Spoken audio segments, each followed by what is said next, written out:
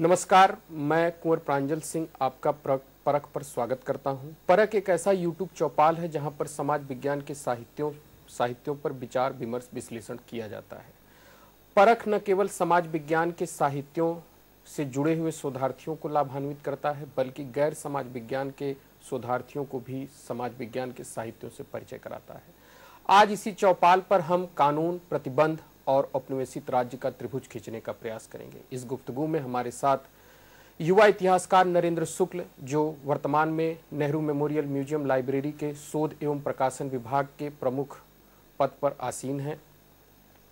संस्थागत परिचय के इतर नरेंद्र शुक्ल उन इतिहासकारों में भी हैं जिनकी शैली साहित्यिक और प्रमाण पक्के हैं। आपको अपनी किताब ब्रिटिश राज और अभिव्यक्ति की स्वतंत्रता के लिए राजभाषा पुरस्कार से सम्मानित किया गया है। इसी गुफ्तगु के प्रारंभ में हम नरेंद्र जी का स्वागत करते हैं। बहुत बहुत धन्यवाद प्रांजल जी। नरेंद्र जी का शोध का मौलिक जो दायरा है वो प्रतिबंध प्रतिबंधित साहित्यों औपनिवेशित राज्य जो एक मूल रूप से आधुनिक भारत के इतिहास के लंबे दौर से जुड़ता है जाकर के। इसी जुड़ाव के साथ मैं नरेंद्र जी से जो पहला सवाल करना चाहता हूँ, वो ये है कि आप पेशे से इतिहासकार हैं और एक लेखक और किताब का दायरा, लेखक, लेख और किताब का दायरा आधुनिक भारत के इतिहास के बड़े हिस्से से जुड़ता है। ऐसे में एक इतिहासकार के लिए साहित्यिक थाह लेना कितना आवश्यक है और साहित्य का इतिहास के साथ किस प्रकार का रिश्ता है? नरेंद्र जी। बहुत बहुत धन्यवाद प्रांजल जी। परख के इस चौपाल में मुझे बुलाने के लिए और अपनी बात रखने के लिए, अवसर देने के लिए। औपनिवेशिक भारत में औपनिवेशिक शक्ति ने औपनिवेशिक मानस को लगातार बनाए रखने के लिए दो प्रमुख काम किए। एक तो भारत में सदियों से चली आ रही जो संघर्ष था, उस संघर्ष के कारण भारतीय सभ्यता और संस्कृति में एक तरह का आत्मविस्मरण पसर रहा था। उस आत्मविस्मरण को बढ़ाने के लिए काम किया। और दूसरा जो सबसे महत्वपूर्ण कार्य किया, कि भारतीय सार्वजनिक चेतना में एक तरह की कृत्रिम स्मृति पैदा करने का काम किया। इसीलिए आप पूरे 18वीं और 19वीं शताब्दी में आप देखेंगे कि सबसे पहला प्रहार औपनिवेशिक सत्य का, शक्ति का, भारतीय साहित्य और संस्कृति से जुड़े हुए तमाम तरह के जो साहित्य हैं, उन पर होता है। यह साहित्य ही है जो सबसे पहले समाज की चेतना को पूंजीभूत रूप में सामने लाकर रख, रखता है। चाहे यह राम का समय हो, जिसमें रामायण, चाहे वो कौटिल्य का समय है, जिसमें अर्थशास्त्र, चाहे वो कल्हड़ का समय हो, जिसमें राज तंगड़ी राज तरंगिणी और चाहे वो कबीर का समय हो, चाहे वह तुलसी का समय हो, और चाहे आधुनिक औपनिवेशिक शक्ति का समय हो। सबसे पहले वह साहित्य ही है, जो अपने समय और समाज की विचार को ऊपर लेकर के आता है और समाज के सामने रखने का काम करता है। यह अकारण नहीं है कि औपनिवेशिक शक्ति की चालों को बाहर लाने का काम भारतीय भाषा साहित्य के साथ शुरू होता है। अठारह में जब भारतेंदु हरिश्चंद्र यह कह रहे हैं कि हिंदी नए चाल में ढली तो यह हिंदी नए चाल में केवल भाषाई ढंग से नहीं ढली। हिंदी नए चाल में कंटेंट के लिहाज से भी ढली। और वो कंटेंट क्या है? वो है निज भाषा उन्नति है सब उन्नति को मूल। और ये वही भाषा है, वह सही, वही साहित्य है जो ये कह रहा है कि भारत में औपनिवेशिक राज से सभी तरह के सुख हो सकते हैं, लेकिन भारत का समस्त धन और वैभव विदेश चला जा रहा है, सबसे बड़ा दुख यही है। और यही साहित्य है जो बार बार पुकार के कह रहा है कि, हा हा, भारत दुर्दशा देखी ना जाए लेकिन एक इतिहास के तौर पर हिंदी साहित्य या किसी भी तरह के उस समय के भारतीय भाषा साहित्य को की मुख्य धारा के साहित्य के अतिरिक्त तमाम ऐसी चीज़ें हैं जो साहित्य के अंतर्गत रखी जानी चाहिए और विश्लेषित की जानी चाहिए। उदाहरण के तौर पर उस समय भारतीय भाषाओं में के पत्रों में छप रहे लेखों को इसमें शामिल किया जाना चाहिए। इस साहित्य में उस समय की पत्रिकाओं में लिखे लेखों को शामिल किया जाना चाहिए। विशेषकर 1878 के वर्नाकुलर प्रेस एक्ट लाने की परिस्थितियों में, उस समय भाषा और साहित्य में, अखबारों में और प्रेस से निकलने वाली जो सामग्री है, उन सब साहित्य का विश्लेषण एक साथ किया जाना चाहिए। और जब मैं उस समय के साहित्य से लेकर के 1947 के तमाम साहित्य को, एक जो मुख्य धारा में साहित्य चल रहा है, जो क्लासिकल तरीके से हिंदी साहित्य के इतिहास में आता है, और एक वह साहित्य है जो प्रतिबंधित हो गया है, औपनिवेशिक राज्य की टेढ़ी नज़र के कारण वो समाज की मुख्य धारा में शामिल होने से ही वंचित हो गया है। ऐसा वह साहित्य किसके द्वारा लिखा जा रहा है? और उसमें क्या लिखा जा रहा है, ये देखने, समझने की ज़रूरत है और उससे औपनिवेशिक मानस को और ठीक ढंग से समझा जा सकता है। केवल यही नहीं, जो मुख्य धारा में शामिल साहित्यकार हैं, वो साहित्य और उसके प्रकाशन को लेकर किस तरह की समझ रखते हैं और उससे औपनिवेशिक साम्राज्य किस तरह से उन पर एक्ट करेगा? इसको समझते हुए वो अपना काम आगे बढ़ा रहे हैं। और दूसरी तरफ़, ऐसा तमाम साहित्य है जो जानता है कि यह साहित्य प्रकाशित होने के बाद साम्राज्य उन पर कहर की तरह टूटेगा, उनका प्रेस जब्त हो जाएगा, उन पर खुद मुकदमा चलेगा, उनको जेल हो सकता है। इसके बावजूद वो न केवल एक बार बल्कि बार बार साहित्य प्रकाशित करता है और जन जागरण, भारत के स्व के जागरण की का प्रयास करता है। हम एक उदाहरण देखते हैं। महावीर प्रसाद द्विवेदी अपने समय में 1910 से 1920 के बीच में की यह घटना है, उस समय मिल के एक निबंध ऑन लिबर्टी का अनुवाद करना चाहते हैं। यह अनुवाद दो खंडों में किया जाता है। पहला खंड इसका मध्य प्रदेश से प्रकाशित किया जाता है और दूसरा खंड वो चाहते हैं कि संयुक्त प्रांत से छप जाए। और वो इसके लिए जो प्रक्रिया अपनाते हैं, वो सरकार के पास एक पत्र भेजते हैं कि इसको सरकार की स्वीकृति सहित अनुमोदित करके प्रकाशित किया जा सके। और इस पर लगातार प्रशासन अपने ढंग से विचार करता है।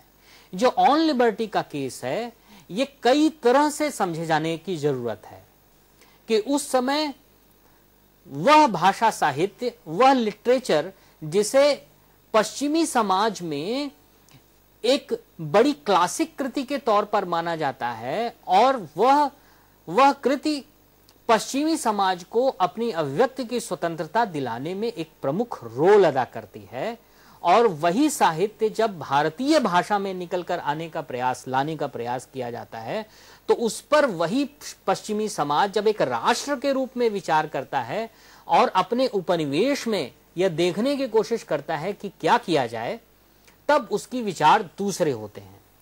अपनी पुस्तक बागी कलमे में मैंने इस विषय में राजकीय अभिलेखागार लखनऊ से जो पत्रावली मिली, उससे मैंने विचार व्यक्त किया है और पत्रावलियों में प्रशासन क्या सोचता है इसके बारे में लिखा है। मैं आपको संयुक्त प्रांत सरकार ने इसके हिंदी अनुवाद पर वर्नाकुलर विभाग का सुपरिटेंडेंट रजा हुसैन क्या क्या कहते हैं, वो मैं सुनाता हूँ। अनुवादक के अनुसार यह पुस्तक मिल की लिबर्टी की विश्वसनीय हिंदी अनुवाद है। किंतु मैं विनम्रता के साथ यह प्रश्न करना चाहता हूँ, इस प्रकार की अंग्रेज़ी पुस्तक जिसे आपत्तिजनक श्रेणी में नहीं रखा जाता, जब वह एक प्रबुद्ध विचारों वाले और सिद्धांतों को समझ सकने वाले व्यक्ति द्वारा पढ़ी जाती है तब कोई समस्या नहीं होती। किंतु जब यह इस देश के स्थानीय भाषी व्यक्तियों के द्वारा स्थानीय भाषा में पढ़ी जाएगी, जिनके संबंध में यह तय रूप से नहीं कहा जा सकता कि वे मिल के निबंध जैसे आधुनिक विचारों को सुरक्षित रूप में हजम भी कर सकते हैं, कहना मुश्किल है। इस प्रकार की कृतियों को वर्तमान स्थितियों में प्रोत्साहित नहीं किया जा सकता। चाहे वह अनुवादक इसे अपने उत्तरदायित्व पर ही छापे। यह वह उत्तर है जो सुप्रिटेंडेंट रजा हुसैन औपनिवेशिक प्रशासन की ओर से एक क्लासिक कृति पर, जिसे मान्यता प्राप्त है, हिंदी में जब आ रही है, उस पर अपना विचार रख रहा है कि वह उसे प्रकाशित होने देने के पक्ष में नहीं है। इसके बावजूद कि वो स्वयं भारतीय है। इसी पत्रावली में जब संयुक्त प्रांत के मुख्य सचिव जे डब्ल्यू हॉस और सीआईडी डिपार्टमेंट के बीच में बातचीत होती है तो सीआईडी की तरफ़ से जो बात कही जाती है, वो बहुत महत्वपूर्ण है। वो लिखता है कि वर्तमान परिप्रेक्ष्य में भारत में अगर यह क्लासिक कृति नहीं है तो इसका वितरण रोक देना चाहिए। उस पर मुख्य सचिव लिखते हैं कि कृति का क्लासिक होना उसके भारत में निर्विवाद रूप से वितरण के लिए काफ़ी नहीं है। इस पूरे प्रकरण में दो बात समझ में आती है। इस पूरे प्रकरण में यह देखने को मिलता है कि औपनिवेशिक प्रशासन जहाँ एक और तमाम ऐसे अधिकारों को जो अपने समाज के लिए बेहतर समझता है, वो भारतीय औपनिवेशिक समाज के लिए बेहतर नहीं समझता है, यहाँ तक कि वो यह भी नहीं समझता है कि देशी भारतीय लोग ऐसे विचारों को ठीक ढंग से ग्रहण कर पाएँगे। प्रकारांतर से देखें तो वो यह समझ रहे हैं कि अगर स्वतंत्रता की बात भारतीय समझेंगे और जानेंगे तो वह भी ऐसी स्वतंत्रता की मांग करेंगे और यह जन जागरण औपनिवेशिक साम्राज्य के लिए ठीक नहीं होगा। लेकिन जो दूसरी और प्रमुख बात यह है कि महावीर प्रसाद द्विवेदी इस खंड को सरकार की अनुमति के साथ छापना चाहते हैं, बल्कि तमाम ऐसा साहित्य है जो बाद में वंचित साहित्य के रूप में, प्रतिबंधित साहित्य के रूप में नज़र आता है, जो वो लोग छापते हैं, जिनको पता है कि इसको प्रकाशित करने के बाद उनके ऊपर साम्राज्य की टेढ़ी नज़र होगी, उन्हें सजाएँ हो सकती हैं। एक और महत्वपूर्ण बात है साहित्य के विषय में। वह यह कि ये जो तमाम साहित्य है, जिसे मुख्य धारा में शामिल नहीं किया जाता है अगर इस तमाम साहित्य, यह पूरा साहित्य उस समय की मुख्य धारा में शामिल होता और आम जन के समक्ष सामान्य रूप से आ पाता जैसे कि मुख्य धारा का साहित्य आया तो मैं ये विश्वास के साथ कहता हूँ कि उस समय की जो साहित्य का स्वर, क्लासिकल साहित्य के इतिहास में दिखता है, वह सर उस स्वर उससे अलग होता और हिंदी साहित्य का इतिहास जो आज मिलता है हमको, उससे कहीं अलग दिखाई पड़ता। तो एक इतिहासकार के तौर पर साहित्य का अवगाहन न केवल समाज में चलते हुए विचारों के पूंजीभूत स्वरूप का को सामने लाना है, बल्कि साहित्य अपने समय की पूर्व दृष्टि और पश्चात दृष्टि दोनों ही एक साथ सामने रखता है। इस कारण से वो इतिहास भी है और इतिहास की सामग्री भी है। इस नाते से साहित्य का अवगाहन और साहित्य की निगाह से कुछ देखना और समझना आ, किसी भी इतिहासकार या विचारक या लेखक के लिए बहुत महत्वपूर्ण हो सकता है। जैसा कि नरेंद्र जी ने अपने लंबे विश्लेषण में यह बताया कि साहित्य स्वयं में भी अपने आप में समाज का ही दर्पण है और समाज की प्रतिक्रियाओं को आगे रखता है और बाद में यही प्रक्रियाएँ इतिहास की नामचीन दर्ज तारीख बनने की कोशिश करती हैं। और हालाँकि मैंने अपने शुरुआत में भी ये कहा था कि नरेंद्र जी उन इतिहासकारों में हैं जिनकी शैली साहित्यिक और प्रमाण पक्के हैं। प्रमाण पक्के कहने का आधार ही मेरा ये था कि नरेंद्र जी के विशेष कामों का जो सबसे बड़ा स्रोत है वो अर्काइव है। वो राजकीय अर्काइव और राष्ट्रीय अर्काइव या फिर मध्य प्रदेश, पटना, नरेंद्र जी ने अपने शोध के लिए तमाम अर्काइवों की मदद ली है।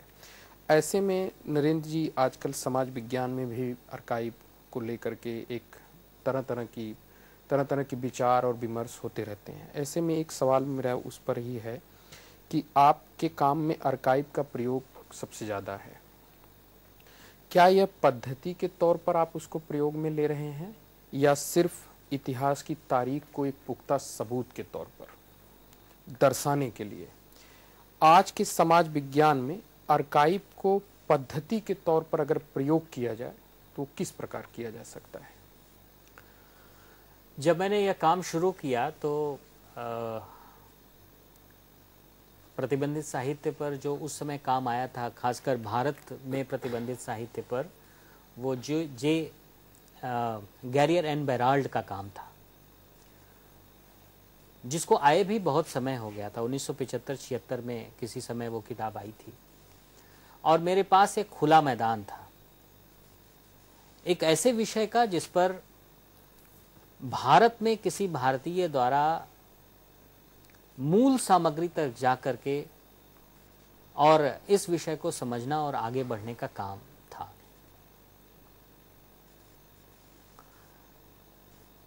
मैं उस समय उत्तर प्रदेश में था और उत्तर प्रदेश का जो राजकीय अभिलेखागार है, वो इस विषय में बहुत महत्वपूर्ण है कि वहाँ सामग्री बहुत व्यवस्थित ढंग से, ठीक ढंग से रखी गई है। हालाँकि उसमें काम होना चाहिए और काम हो भी रहा है, किंतु फिर भी वहाँ सामग्री मिल जाती है। केवल यही नहीं, राष्ट्रीय अभिलेखागार नई दिल्ली में इससे संबंधित सामग्री थी। इससे संबंधित सामग्री राजकीय अभिलेखागार पटना में थी, पंजाब में है, और भोपाल के आर्काइव्स में है। मूल प्रश्न ये है कि कोई भी लेखक, साहित्यकार, समाज विज्ञानी, इतिहासकार, आखिर अभिलेखागार में जाए ही क्यों? तथ्य बहुत तथ्य दो तरह से होते हैं। इसको यूँ समझें, एक प्राकृतिक तथ्य है और एक ऐतिहासिक तथ्य है।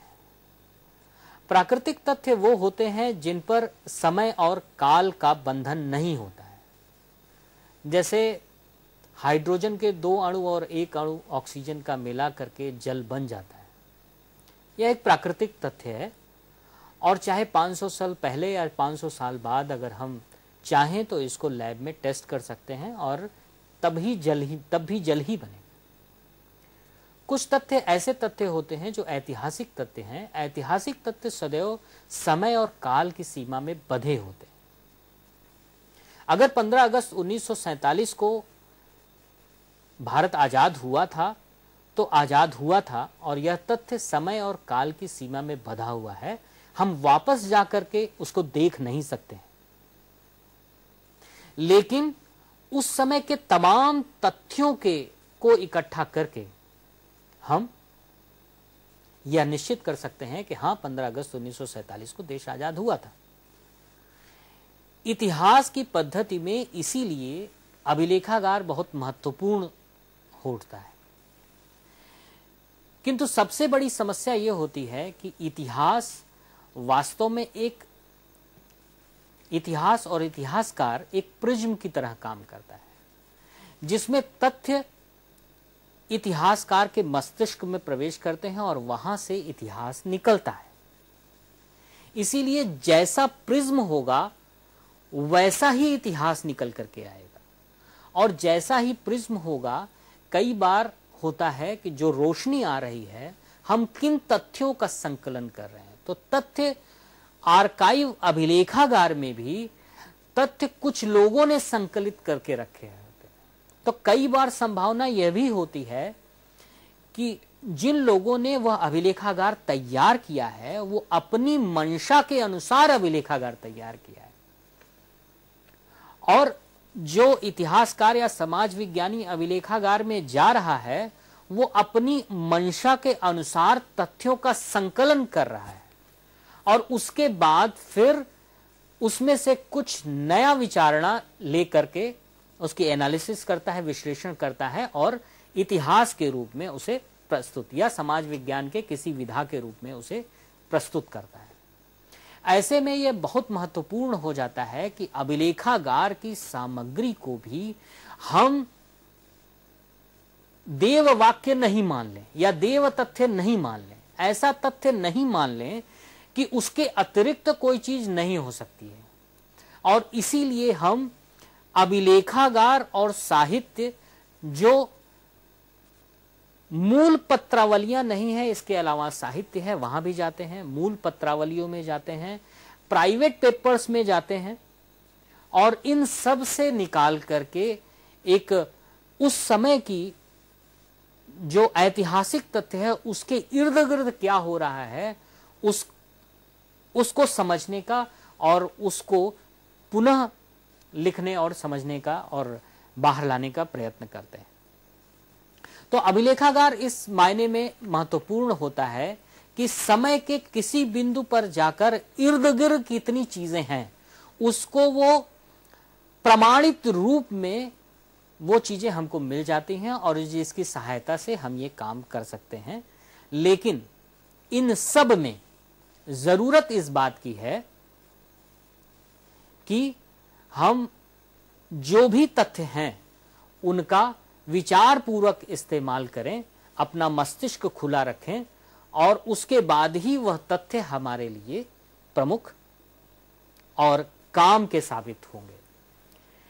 यही नहीं, कई बार खासकर प्रतिबंधित साहित्य के मामले में जो अभिलेखागार बने हैं, वो कुछ तरह के कानूनों से इकट्ठा होते हैं। जैसे अठारह में जब बुक और रजिस्ट्रेशन एक्ट आया तो उसी में धारा नौ क और नौ ख दो धाराएँ जोड़ी गई। धारा नौ का यह कहती थी कि भारत में भारतीय प्रेसों से जो कुछ भी प्रकाशित होगा, उसकी एक प्रति सरकार को देनी थी। और नौ ख में कहा गया कि सरकार एक वर्ष के भीतर जिन पुस्तकों को चाहेगी या जिन प्रकाशन को चाहेगी, उसकी दो प्रति और मंगा सकती है। यह न देने पर पचास रुपए का जुर्माना भी था।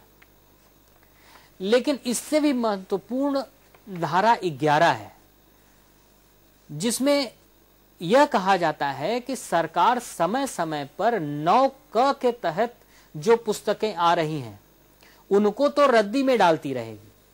लेकिन नौ ख के अंतर्गत जो पुस्तकें आ रही हैं, उसमें से एक इंडिया ऑफ़िस लाइब्रेरी जाएगी और एक भारत राज्य सचिव के पास जाएगी। ये वह पुस्तकें थीं जिनको कुछ समय में औपनिवेशिक साम्राज्य पढ़कर उनका विश्लेषण करके यह समझता था कि यह भारतीय जन जागरण के लिहाज से या भारतीय सामाजिक प्रश्नों को उठाने वाली अथवा औपनिवेशिक प्रशासन के चरित्र को खोलने वाली पुस्तकें हैं या क्रांतिकारी कार्यों के लिहाज से स्व के जागरण के लायक ये पुस्तकें हैं, उन पुस्तकों को विशेष रूप से इनके अंतर्गत लिया जाता था और इनमें से इसके दौरान जो चीज़ बनी, वो वास्तव में प्रतिबंधित साहित्य का अभिलेखागार है, जो इंडिया ऑफ़िस लाइब्रेरी में बना और वहाँ से जो किताबें नेशनल लाइब्रेरी कोलकाता में आई, वो भी बना और ढेर सारी सामग्री national museum national library Kolkata में भी है। तो इस तरह से एक अभिलेखागार बनता है, जो बना तो साम्राज्य की आवश्यकता के लिए था लेकिन आज हम उसी साम्राज्य के, उसी औपनिवेशिक मानसिकता के चरित्र को खोलने के लिए हम उपयोग में ला रहे हैं हालाँकि जो मैं अगला सवाल करने वाला था, वो सवाल को जो है नरेंद्र जी ने उसी सवाल के इर्द गिर्द अपनी बात को रखते समय रख दिया है। ये बिल्कुल सही बात है कि आर्काइव जो है स्टेट की सॉवरेनिटी का एक अपना स्रोत होता है और उपनिवेशित राज्य ने अपने आप को स्थापित करने के लिए आर्काइव को एक महत्वपूर्ण भूमिका में रखा, जिस पे बर्नार्ड कोहेन ने भी एक लंबा लेख लिखा। लेकिन मैं फिर उसी, अभी मैं इसी बात पर ही रहता हूँ प्रतिबंधित साहित्यों को जब अर्काइव में जमा किया जा रहा था तो उसमें ऐसी कौन सी आवाज़ें निहित थीं, जो उपनिवेशित राज्य को इस तरह का स्टेप लेने के लिए मजबूर करती थी या इस तरह के कानून को बनाने के लिए प्रेरित करती थी कि हम उसे प्रतिबंधित कर दें। प्रांजल जी, एक बहुत महत्वपूर्ण प्रश्न है, क्योंकि ये वह प्रश्न है जो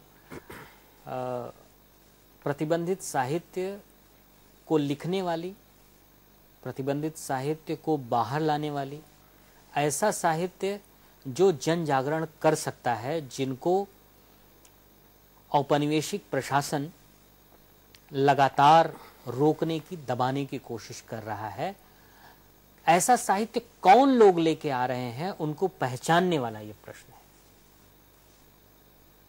अगर 1878 से 1890 के बीच जो प्रकाशन हुए हैं, और उस समय भारतीय भाषा प्रेस और जो अंग्रेज़ी प्रेस है, इन दोनों के बीच में अगर जो तनातनी है, जो तनाव है, उसको अगर हम ध्यान से देखें, जिसमें एक पूरा बड़ा प्रेस, खासकर वो अंग्रेज़ी प्रेस है जो औपनिवेशिक प्रशासन के साथ है, और ढेर सारा भारतीय भाषाई प्रेस जो भारतीय भारतीय समाज सामाजिक प्रश्नों को बाहर निकाल रहा है और औपनिवेशिक चरित्र को खोलने की कोशिश कर रहा है, वो कौन लोग हैं अगर हम उनको समझ जाएँ तो शायद इस प्रश्न को समझ सकेंगे।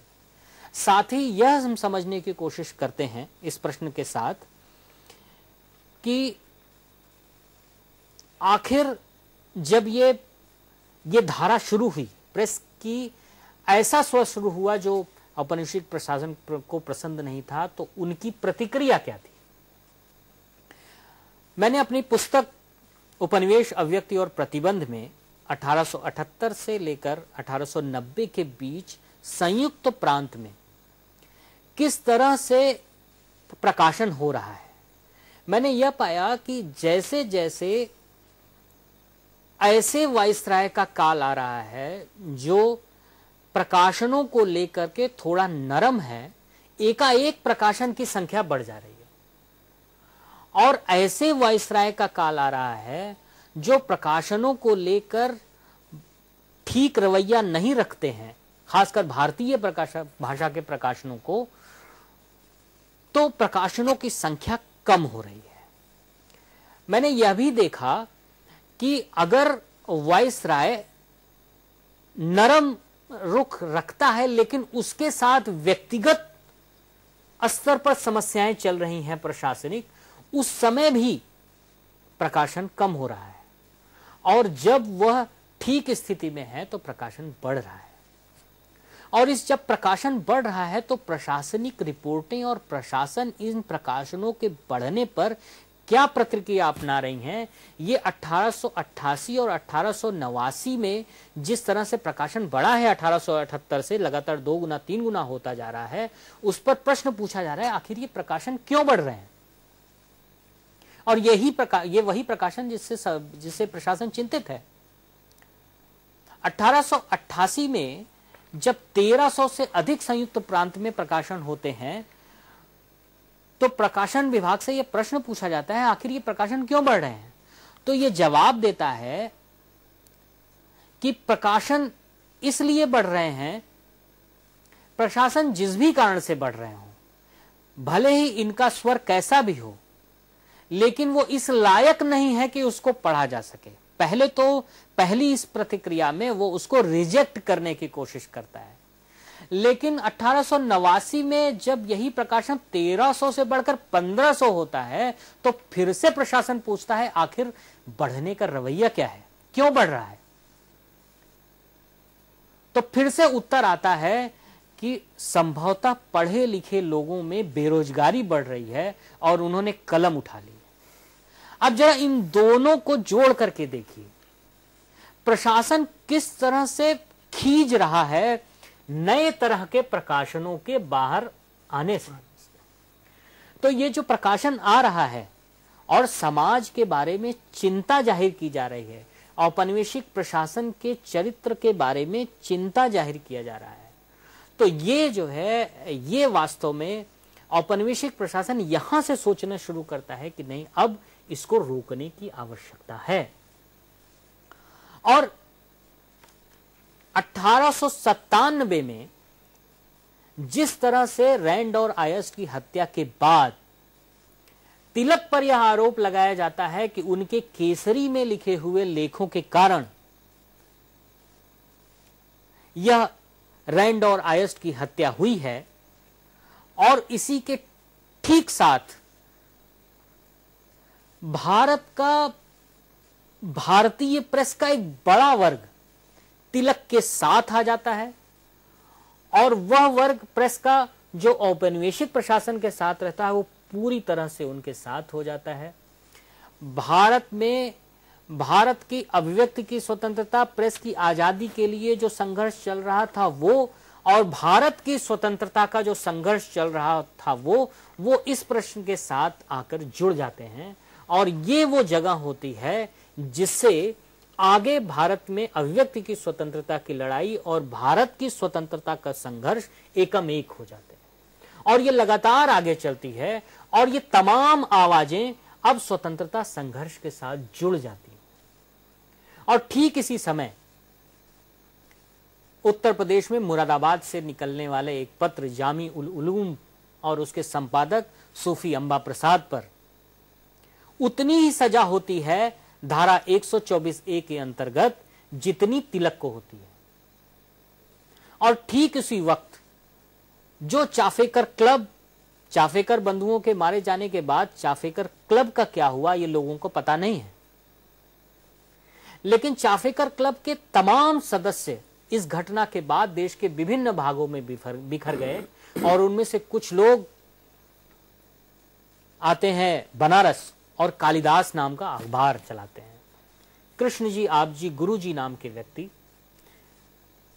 अगरकर लावटे, कन्हेरी, वर्मन जी, ये सब लोग इकट्ठा होते हैं बनारस में और कालिदास नाम का अखबार चलाते हैं। यह समय है 1900 यह युग संधि है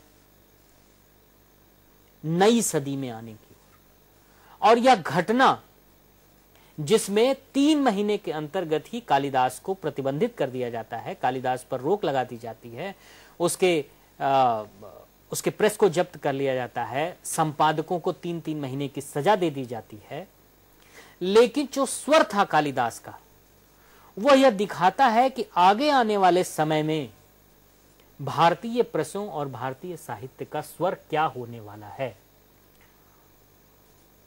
और इसी के साथ हम आगे देखते हैं कि कैसे एक एक करके लगातार अखबार पूरे देश भर में निकलते हैं और उनसे निकलने वाला साहित्य जन जागरण में भागीदार होता है। अपनी पहली ही पुस्तक बागी कलमे में मैंने उन तमाम स्वरों को एक जगह इकट्ठा किया है, जो इस कालिदास 1900 से लेकर के और 1947 तक जितनी भी तरह के लोग ऐसा प्रकाशन कर रहे हैं, उनका कुछ छोटे छोटे लोगों का छोटे छोटे ग्रुप्स में, या संस्थाओं द्वारा, या पत्रिकाओं द्वारा, या लोगों द्वारा जो कुछ भी लिखा जा रहा है, उसको मैंने सूत्रबद्ध किया है। आप उस पुस्तक में देखेंगे तो आप कालिदास को पाएँगे। उस पुस्तक में देखेंगे तो इलाहाबाद से निकलने वाले उर्दू पत्र स्वराज्य को पाएँगे। उस पुस्तक में देखेंगे तो आप स्वदेश की विजयांग को पाएँगे। उस पुस्तक में आप देखेंगे तो तमाम आगे चलने वाली, आगे राहुल सांकृत्यायन की क्या करें तक, ऐसे तमाम लोग हैं। और इसमें हर तरह के लोग हैं, वो साहित्यकार भी हैं, वो वो वणिक वर्ग से भी हैं, वो सामान्य लेखक हैं, वो पत्रकार हैं वो नौकरी पेशा लोग हैं। तो ऐसे तमाम तरह के लोग हैं जो भारतीय समाज भारतीय स्वतंत्रता के प्रति चिंतित हैं औपनिवेशिक शक्ति के दमन के प्रति चिंतित हैं और उससे बाहर आना चाहते हैं। तो ऐसी तमाम मतलब इसमें जो आ, लोग हैं वो हर तरह के श्रेणी हर तरह के वर्ग के लोग हैं जो लगातार अपनी बात लोगों के बीच में ले आ रहे हैं। और उनके उनके द्वारा जो जन जागरण पैदा हो रहा है, वह भारतीय स्वतंत्रता आंदोलन की मूल शक्ति बन रहा है। और साहित्य पर औपनिवेशित राज्य की प्रक्रिया और नरेंद्र जी की अपनी किताब बागी कलम से जिस तरह के एग्ज़ाम्पल उदाहरणों को दे करके नरेंद्र जी ने अपनी बात कही है एक बड़ी दिलचस्प बात इन्होंने कहा कि उपनिवेशित राज्य ने कहा कि, ये ऑब्जर्वेशन किया कि ये वही लोग हैं जो बेरोजगार हैं, लिख रहे हैं। शायद ये अभी भी मुझे लगता है निरंतर चल रहा है कि बेरोजगार कहीं ऐसा तो नहीं कि ज़्यादा लिख रहे हैं। मेरा इशारा शोधार्थियों पर है, जो लोग पीएचडी कर रहे हैं। दूसरी दूसरी बात जो आपने कहा कि बागी कलम का ज़िक्र नरेंद्र जी कर रहे हैं। नरेंद्र जी की ये प्रारंभिक किताबों में से है और जिसमें उन्होंने बता, खुद ही बताया कि मैंने उसमें तमाम उन आवाज़ों को एक साथ रखने की कोशिश की। राहुल संस्कृत्यांक उन लोगों में से थे जो मातहत समाज और कृषकों की आवाज़ को उठाते थे। स्वराज्य और इस तरह का वो एक विशेष प्रकार का सामाजिक सशक्तिकरण की तरफ़ बढ़ रहा था, बढ़ रहा था। इसे हाल ही में आने वाली आपकी किताब ने एक लार्जर फ्रेम में जोड़ते हुए उसे अभिव्यक्ति की स्वतंत्रता से जोड़ दिया है, जो वाणी प्रकाशन से आपकी किताब है। इस किताब में आपने, इस किताब पर ही मैं अब सवाल करूँगा कि इस किताब में आपने समय सीमा को 1907 से 1935 तक रखा है। और ये, इसमें कोई दो राय नहीं है कि ये दौर जो है अपने आप में साहित्यिक दुनिया और उपनिवेशित दुनिया का सबसे नायाब दौर भी था और इसमें बहुत उठापटक भी थी। तो इन दशकों के बीच अभिव्यक्ति की स्वतंत्रता को लेकर ऐसी कौन सी बेचैनी थी जिसकी वजह से साहित्यों को प्रतिबंधित ही करना उपनिवेशित राज्य के लिए सिर्फ़ और सिर्फ़ एक रास्ता था? कुछ उदाहरणों के साथ इस बात को और विस्तार से बताइए कि ये अभिव्यक्ति की स्वतंत्रता का ही, अभिव्यक्ति की स्वतंत्रता से किस तरह से जाकर के ये जुड़ता है?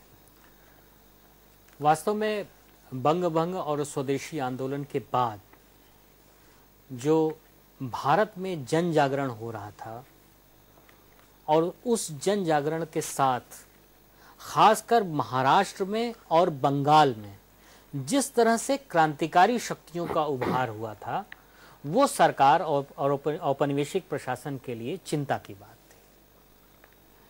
साथ ही एक और केंद्र क्रांतिकारी तौर पर डेवलप हो रहा था और वो था पंजाब। पंजाब में सरदार अजीत सिंह लगातार क्रांतिकारी शक्तियों सीक्रेट सोसाइटीज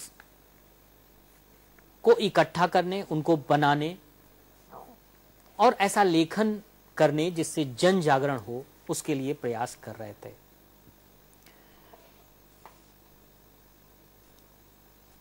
पंजाब में एक अधिकारी इबेस्टन लिखता है कि जो जहर बंगाल से आ रहा है, वह अब पंजाबी नवयुवकों को भी प्रभावित कर रही है। यह जिस जहर की बात कर रहा है वो वही जहर है उसकी दृष्टि में, जो क्रांतिकारी पत्रों से महाराष्ट्र और बंगाल के ज़रिए पंजाब में पहुँच रहा है। और ये वही 1907-8 का समय है, जिसमें सरदार अजीत सिंह अपने साथियों को लेकर पंजाब और उत्तर प्रदेश में, क्योंकि महाराष्ट्र और बंगाल तो क्रांति के केंद्र बन चुके थे लेकिन उनका सहयोग और पूरी तरह से शक्ति तब तक निर्माण नहीं हो सकती थी जब तक कि उत्तर भारत के क्षेत्र में ऐसे शक्ति केंद्रों का निर्माण न हो जाए। और इस बात के लिए चिंतित थे सरदार अजीत सिंह। मेरी इस बात को उनकी इस योजना से भी बल मिलता है कि उन्होंने केवल पंजाब में ही नहीं, अखबार शुरू किए। उन्होंने अपने साथियों शांति नारायण और सूफी अंबा प्रसाद आदि को उत्तर प्रदेश में इलाहाबाद में भेजा और स्वराज्य जैसा पत्र शुरू किया, जिससे उत्तर भारत में, संपूर्ण उत्तर भारत में क्रांति की लौ जलाई जा सके। ये जो 1907 से 1935 का दौर है, यह भारतीय स्वतंत्रता संघर्ष का चरम शिखर है। इसमें केवल प्रतिबंधित कर देना ही एक अंतिम अस्त्र के तौर पर औपनिवेशिक प्रशासन ने इस साहित्य के प्रति जो उसका रवैया था वो नहीं निकाला। तमाम तरीके उसने विकसित किए जिससे कि ऐसे साहित्य को रोका जा सके। और इन तरीकों में राज सहायता और काली सूची भी महत्वपूर्ण थी। जब आप अभिलेखागार पत, के पत्रों में आप पढ़ेंगे तो आप पाएँगे कि प्रशासनिक हलकों में इस बात की चिंता है कि जिस पत्र को या जिस साहित्य को हम प्रतिबंधित कर दे रहे हैं उसकी मांग एकाएक बहुत तेज बढ़ जा रही है। और वो चोरी छुपे लगातार पूरे देश में एकाएक कई भाषाओं में अनुदित होकर के बहने लगी है। और जो हम रोकना चाह रहे हैं, उससे ज़्यादा उससे नुकसान हो रहा है। इसलिए सरकार इस बात में चिंतित थी कि कौन सी सामग्री को प्रतिबंधित किया जाए और कौन सी सामग्री को इग्नोर किया जाए। तो तमाम ऐसी सामग्री थी जिसे भरसक वो इग्नोर करने की कोशिश कर रहे थे। तो ये जो सामग्री थी, इसके लिए, इसको रोकने के लिए तो वो कानून दर कानून ला रहे थे। 1908 में incitement to offence act newspaper के लिए ले आया। 1910 में भारत शासन अधिनियम ला करके, एक एक्ट ला करके प्रतिबंधित करने को शुरू किया। डिफेंस इंडिया रूल लेकर के आए। और जब 1910 का एक्ट खत्म हुआ तो 1921 में एक्ट तो खत्म किया, लेकिन निन्यानबे ए जोड़ करके सभी तरह के राजद्रोही प्रकाशनों पर प्रतिबंध के लिए एक खिड़की तब भी खोले रहे। और यही नहीं, वो ये जान गए थे कि जैसे ही हम किसी प्रकाशन को प्रतिबंध करके किसी व्यक्ति पर मुकदमा चलाते हैं, एकाएक वो नेशनल हीरो में तब्दील हो जाता है। तो आइकन्स का निर्माण कम से कम हो, इसके लिए औपनिवेशिक राजनीति लगातार प्रयास कर रही थी। तो वह साहित्य जो हिंसा से जुड़ा हुआ था, उसको तो वो लगातार प्रतिबंधित कर रहे थे। ऐसे लोगों को लगातार जेल में डाल रहे थे। लेकिन वह साहित्य जो उनको लगता था अभी फ़िलहाल इसको प्रतिबंधित नहीं करना चाहिए, उस पर वो दूसरा रवैया अपना रहे थे। उनको किसी न किसी तरह नीचे के लेवल पर डरा धमका करके उसको रोकने की कोशिश कर रहे थे। ऐसे अखबारों को लगातार वो लालच दे रहे थे, खासकर विज्ञापनों का, जिससे कि जो समाचार वह नहीं चाहते हैं, उनको वह न छापे। 1878 में ही अमृत बाज़ार पत्रिका के संपादक शिशिर कुमार घोष को लिटन ने यह ऑफ़र किया कि हम आपको विज्ञापन देंगे, लेकिन आप वही छापें जो हम चाहते हैं। शिशिर कुमार घोष ने एक उत्तर दिया। उन्होंने कहा कि कम से कम पूरे भारत में एक ईमानदार भारतीय तो रहने दीजिए। और उसके बाद वो अपना पत्र, जो देशी भाषा के लिए था रातों रात उन्होंने अंग्रेज़ी में किया और इस तरह अमृत बाज़ार पत्रिका बच सका। केवल यही नहीं, औपनिवेशिक प्रशासन ने तमाम ऐसे अखबारों को, जैसे गोरखपुर का ज्ञान शक्ति उसको पैसा दे करके उसके संपादकीय कॉलम में ठहरो नाम का एक लेख छपवाया। और वो गांधी जी के विरुद्ध, गांधी जी के आंदोलनों में लोग शामिल न हो, इसके लिए दस दस हज़ार प्रतियाँ बांटी गई। लेकिन इसके बावजूद तमाम ऐसे अखबार रहे, जिन्होंने यह बात नहीं मानी। उन्होंने खत्म हो जाना स्वीकार किया, किंतु भारत की समाज की चिंता भारत की स्वतंत्रता के लिए लेखन भारतीय स्व के जागरण के लिए लेखन लगातार करते रहे। तो ये पूरा जो समय है 1907 से 1935 तक का तो आप ये देखेंगे कि इसमें तमाम तरह की आवाज़ें हैं। इसमें विद्यार्थियों की भी आवाज़ें हैं। इसमें आ, ऐसे लोग भी हैं जो सीधे तौर पर राष्ट्रीय आंदोलन से नहीं जुड़े हैं। किसी अन्य आंदोलनों के साथ हैं, लेकिन फिर भी वो अपनी आवाज़, उनकी आवाज़ जाकर राष्ट्रीय आंदोलन में एकम एक हो जा रही है। तो 1907 से 1935 भारत के भारत के द्वारा या भारतीयों के द्वारा जो औपनिवेशिक प्रशासन है, उसमें प्रतिरोध को समझने के लिए भी महत्वपूर्ण है। और इस प्रतिरोध को दबाने के लिए औपनिवेशिक प्रशासन द्वारा जो किया जा रहा है, वह भी महत्वपूर्ण है। और इन दोनों के साथ आप अभिव्यक्ति की स्वतंत्रता की लड़ाई और राज्य के द्वारा अभिव्यक्ति की स्वतंत्रता को रोकने और दबाने के लिए जो जो हथगंडे अपनाए जा सकते हैं, उसको आप साफ़ साफ़ देख सकते हैं और महसूस कर सकते हैं। नरेंद्र जी की इस बात से ये बिल्कुल स्पष्ट है कि अभिव्यक्ति की स्वतंत्रता और राज्य का रिश्ता जो हमें इतिहास में मिलता है, उसके संबंध बड़े नाजुक रहे हैं। जब जब अभिव्यक्ति की स्वतंत्रताओं ने अपनी आवाज़ को बुलंद किया है, तब तब राज्य जो है, उस पर नकेल कसने की कोशिश की है। ऐसे में यह किताब अभिव्यक्ति ब्रिटिश राज और अभिव्यक्ति की स्वतंत्रता नरेंद्र जी की किताब लगभग 300 पेजों में फैली हुई किताब है। और इसके प्रत्येक अध्याय अपने आप में बहुत दिलचस्प हैं। एक इतिहासकार के तौर पर मैं एक राजनीति विज्ञान के, विज्ञान विद्यार्थी के तौर पर जब मैं इस किताब को पढ़ रहा था तो उसमें एक इतिहासकार की झलक तो दिखती ही है। साहित्यिक और क्षेत्रीय जो समझ है, वो समझ भी पूरी तरह से उस किताब में निकल करके आती है और अभिव्यक्ति की स्वतंत्रता कॉन्स्टिट्यूशनल राइट और राज्य अपने आप में किस तरह से एक दूसरे से अपने आप को जोड़ता है और एक दूसरे से अपने आप को, अपने आप के नाते को तोड़ता है, इन सब सारी प्रक्रियाओं का उसमें ऐतिहासिक विश्लेषण उस किताब में है। नरेंद्र जी, जब मैं एक पाठक के तौर पर जब मैं आपकी किताब पढ़ रहा था, अध्याय दो के शीर्षक को लेकर के मुझे एक विरोधाभास देखने को मिला। उस अध्याय का शीर्षक है क्रांतिकारी गांधीवादी दर्शन, साहित्य और प्रतिबंध। जहाँ तक राष्ट्रीय आंदोलन का सवाल है, क्रांतिकारी गतिविधियाँ और गांधीवादी गतिविधियाँ, ये दोनों एक दूसरे से बेहद अलहदा हैं। क्रांतिकारी गतिविधियों का काम करने का तरीका, गांधीवादी गतिविधियों का काम करने का तरीका में एक बहुत बड़ा, एक एक दूसरे के बहुत ही विपरीत हैं ये। ऐसे में दो विपरीत धाराओं को आपने एक अध्याय में शामिल किया है।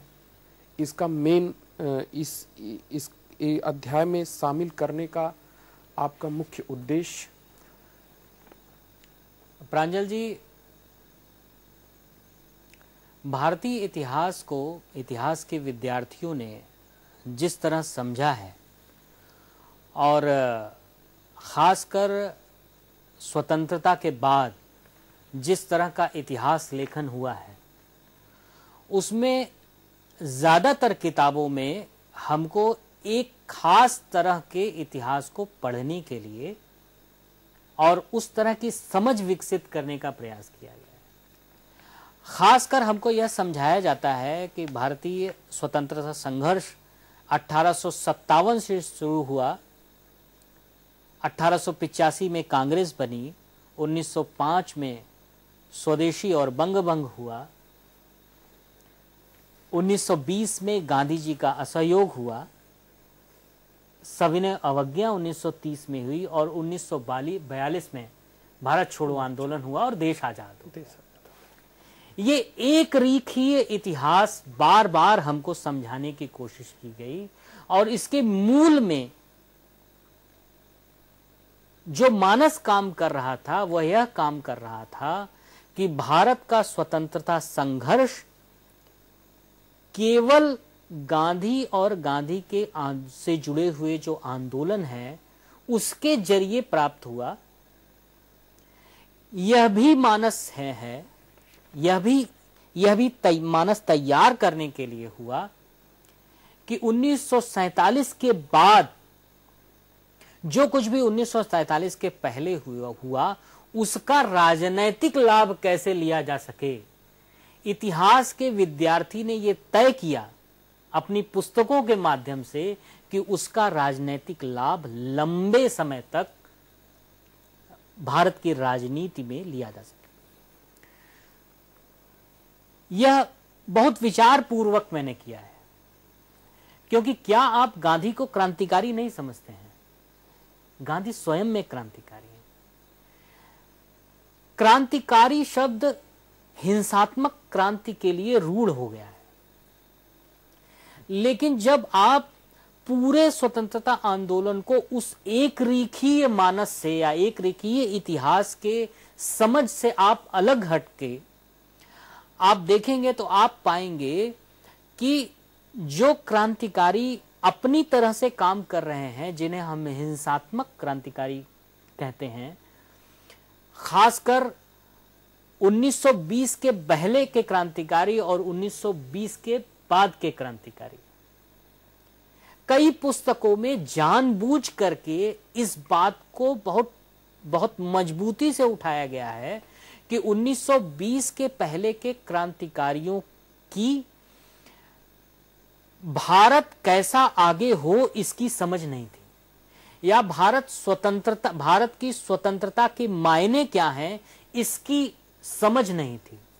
वास्तव में वो लोग 1920 के बाद के क्रांतिकारियों में यह समझ थी, यह दिखाने के लिए 1917 की रूसी क्रांति के बाद जो बदलाव हो रहे हैं, उसको स्टैब्लिश करना और उसके बाद भगत सिंह के रूप में एक आइकन खड़ा करना। यह उनकी राजनीति का हिस्सा था, जो इतिहास की पुस्तकों में हमें स्टैब्लिश करते हुए मिलता है। जब मैं प्रतिबंधित साहित्य पढ़ रहा था, उस समय मैंने सरदार अजीत सिंह को पढ़ा, लाला हरदयाल को पढ़ा, भाई परमानंद को पढ़ा, सचिन सान्याल को पढ़ा। इन सबको पढ़ने के बाद मैंने ये देखा कि जो पहले के क्रांतिकारी हैं, उनमें भी भारत कैसा हो? भारत की स्वतंत्रता किस तरह हो? और भारतीय समाज कैसा बने? इसकी पूरी की पूरी समझ थी अभी जो काम मैंने सीक्रेट सोसाइटीज के अध्ययन का शुरू किया है, इस काम के बाद जो नया काम शुरू किया है उसमें भी हम जब सीक्रेट सोसाइटीज के कार्यकलापों का अध्ययन पाते हैं, उनके, उनमें जिस तरह की प्रेरणा पा रहे हैं और वो जिस तरह से, जिस तरह के भारत का निर्माण करना चाह रहे हैं, उसमें भी यह देखने को मिलता है कि वह बाद के क्रांतिकारियों से या गांधीवादी समझ जो है भारत के बनने की, उस तरह के के भारत के निर्माण से अलग उनकी समझ नहीं है। वह भी एक ऐसे भारत का निर्माण करना चाहते हैं जो भारतीय संस्कृति और परंपरा से जुड़ी हुई हो, वो कटी हुई ना हो। और यह जो भारतीय संस्कृति और परंपरा से जुड़ाव है, यह उनको वह भूमि देता था जिस पर वह अपने आंदोलन को रखकर आगे बढ़ सकते थे। तो जो ये क्रांतिकारी हैं, चाहे वो पहली पीढ़ी के जिन्हें कहा जा रहा है या दूसरी पीढ़ी के मैं इनको दोनों को अलग नहीं करता।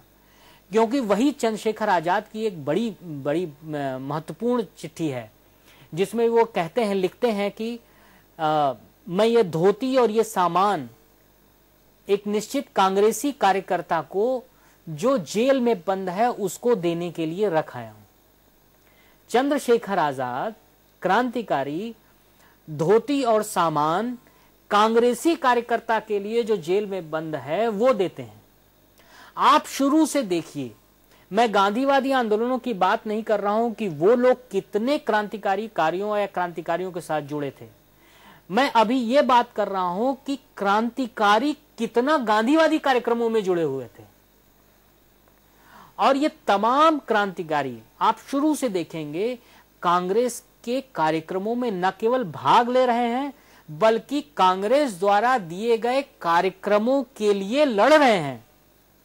लाला लाजपत राय जो कांग्रेस में थे, उनकी हत्या का विरोध करने के लिए सॉन्डर्स को मारा जा रहा है। तो क्रांतिकारी और गांधीवादी को दोनों आंदोलनों को अलग अलग करके पढ़ना, भारतीय इतिहास की समझ में और स्वतंत्रता आंदोलन की समझ में और आंदोलन में ही खांच पैदा करना है।